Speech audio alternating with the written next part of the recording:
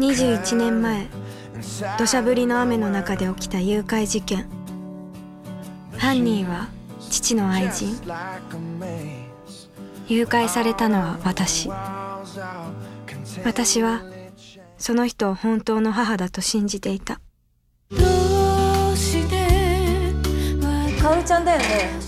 あの誘拐事件のこと聞きたいんだけど誘拐犯に育てられたとかって特殊すぎてなんか。うちの家族は壊れちゃってたからさ。世界一悪いあの女がうちをめちゃくちゃにしたんだ。来て。あなたに名前を呼んで。どんな風に可愛がってどんな風に叱ってどんな風に仲良くなっていいか分かんないなのよ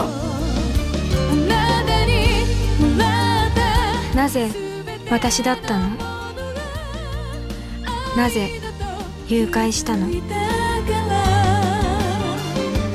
大好きよ。かおる8日目のセミ